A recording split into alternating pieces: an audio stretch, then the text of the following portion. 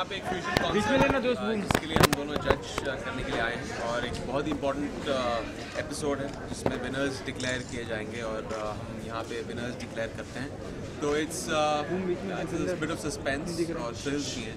तो और थोड़ा बहुत मिस्टेक्स दिखता है नहीं दिखता है he comes and goes in the scene also so it's gonna be fun Neeti Imran Hashmi आए हैं कैसी एरिया में क्या कहना चाहिए रिएक्शन बताइए I was very excited because uh, you're one of my favorite actors, and uh, बहुत मज़ा आने वाला है. We are waiting to perform and everything. So अभी देखते क्या होने वाला आगे. इमरान कुछ पार्ट को कुछ टिप्स देंगे मानिक को well, मैं डांसिंग में सिंगिंग में बहुत बुरा हूँ तो आई थिंक मुझे टिप्स इनसे लेने पड़ेंगे। But I think they are doing a fantastic job और शो भी अच्छा है और uh, अच्छा चल रहा है।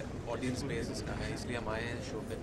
और I want to wish them all the very best बस यहाँ देख बैठ के देखूँगा। परफॉर्मेंस हम दोनों देखेंगे।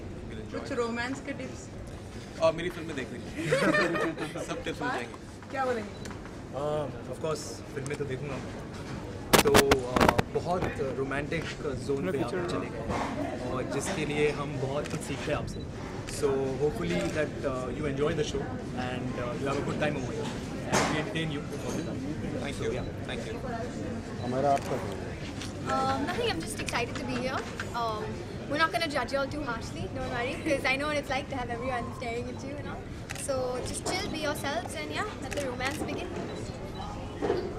What's what? Okay, thanks. So how do I just say this? this just say that. BBC presents कैसी है यारिया और MTV. इमरान लास्ट अपने फैंस आप कुछ कहेंगे फैंस को यही कहूँगा कि फ़िल्म रिलीज़ हो रही है 17 अप्रैल को और जाके देखें। बहुत ही स्पेशल फ़िल्म है। हमारे पूरे क्रू ने तकरीबन दो साल लगाए हैं इस फ़िल्म को बनाने के लिए। और इंटरेस्टिंग फ़िल्म है, मुझे याद है, जब मैंने मिस्टर इंडिया देखी थी तो जो एक सेंसेशन ऑडियंस को मिला था उस से तो होपफुली ऑडियंस को उसी तरह का एक सेंसेशन मिलेगा। अभी बोर्ड्स खत्म होने वाले हैं तो बच्चे भी जाके देख सकते हैं।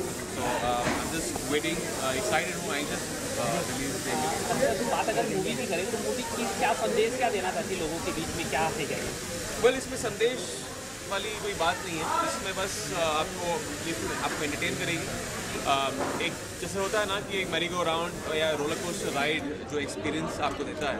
एक बहुत एक तरह से एक फ़िज़िकल एक्सपीरियंस भी है फ़िल्म में क्योंकि जब आप थ्री में देखेंगे तो uh, बहुत सारी चीज़ें थिएटर में ऐसे लगेगा कि थिएटर में आ रही हैं चीज़ें। उस किस्म का रश है इस फ़िल्म में और उसी के लिए मैं कहूँगा ऑडियंस को जाके देखें। हिंदी में भी वी एफ़ एक्स बहुत ही अच्छे हैं। पहली बार हमारे देश में इस किस्म का इनविजिबल मैन और उसके साथ इफेक्ट्स एक बहुत अच्छा ट्रांसफॉर्मेशन सीन भी है। तो हम शो ऑडियंस को इन सब चीज़ों के लिए और खूबसूरत लड़की भी है फ़िल्म में तो सब चीज़ों के लिए ऑडियंस कंटेंट रोमांस भी देखने को मिलेगा जब आप मूवी में हो तो ज़ाहिर सी बात है हो गया है शो फ़िल्मों को प्रमोट करेंगे देखिए बहुत ही डिफ़िकल्ट हो गया है फ़िल्मों को बेचना ऑडियंस को और देख रहे हैं कि टीवी का जो एक प्लेटफॉर्म है एक बहुत ही बड़ा प्लेटफॉर्म है सब लोग देखते हैं on a weekly basis on a daily basis तो उनका एक ऑब्वियसली एक ऑडियंस बेस रहता है हमारी फ़िल्में आती हैं हर छः महीने या हर एक साल में तो जब हम एक टीवी शो में जाते हैं और वहाँ पे ऑलरेडी है आई बॉल लोग शो शो देखते हैं वहाँ उनके फैंस हैं। अगर इंटीग्रेशन अच्छा हो तो डेफिनेटली एक आपकी फ़िल्म की एक, एक रजिस्टर होती है ऑडियंस के साथ और पसंद आएगी थिएटर में आएगी थैंक यू